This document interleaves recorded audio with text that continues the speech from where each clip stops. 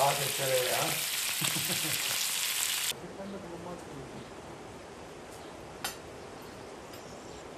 İlimiz bir deniz şehri olmamasına rağmen e, iç sulardaki balıkçılıklar ciddi bir e, yere sahip. Bundan e, bu özellikle Demirözü Barajı'ndaki kafes balıkçılığıyla ciddi manada üretimimiz var.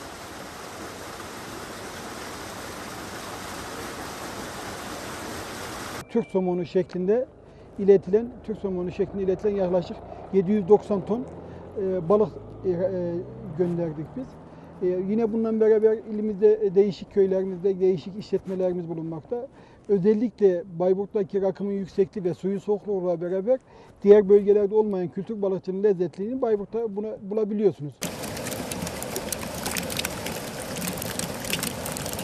Çünkü e, besleme suların beslemesi büyük bir oranda kar sularıyla oluyor. Su, su balıkta suda e, soğuk suda daha lezzetli oluyor. Artı da organik beslendikleri için ciddi bir lezzetliği bulunmaktadır.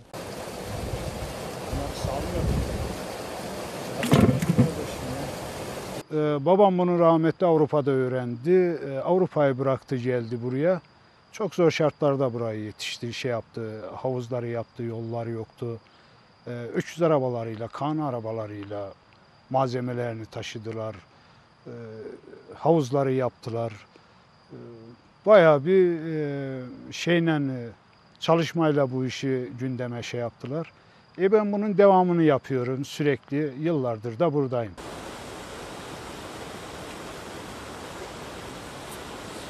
Biraz balığın geç e, yetişmesinden biraz şey oluyoruz.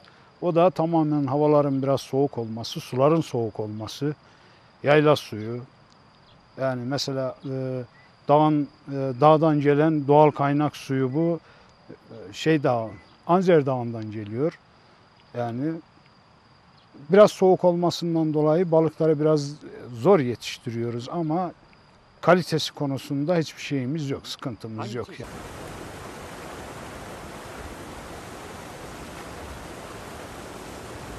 Suyumuzun doğal olması, yukarıda hiçbir yerleşim yerinin olmaması, tamamen doğal olması, bir de suyun çok e, uzun mesafeden gelip de e, akım şeyinden suyun çok e, çalkalanarak gelmesi suyun e, balığın kalitesini de artırıyor. Su tamamen doğal kaynak suyu. E, Anzer Dağı'ndan çıkıp bu tarafa geliyor.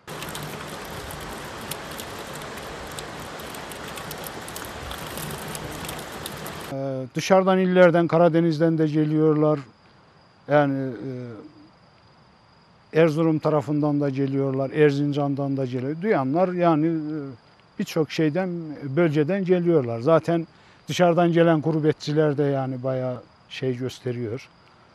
Yani geliyorlar.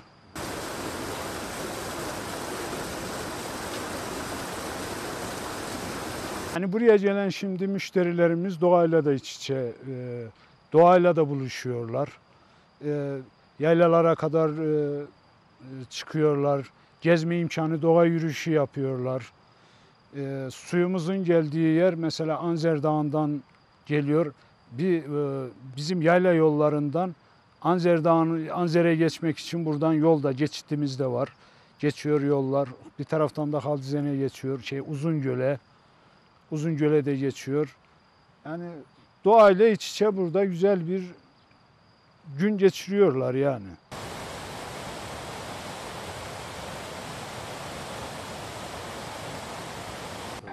Buradaki alabalık tesisi hafta sonları için gerçekten çok güzel bir imkan Bayburt için. Geliyoruz hem lezzetli bir şekilde alabalık yiyoruz hem de doğası çok güzel.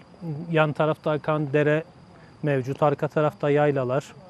Aynı zamanda görsel bir şölen sunuyor. Arka tarafta kar, önünde yeşillik, bir sürü çiçek. Gerçekten vakit geçirmek için güzel bir seçenek. Hafta sonları geliyoruz. Hem alabalığımızı yiyoruz hem doğayla iç içe e, vakit geçiriyoruz. Tüm Bayburtlar için gerçekten bir nimet. Türkiye'nin balıkçılık, e-ticaret pazar yeri fishing.com.tr Fishing'de hayallerini yakala.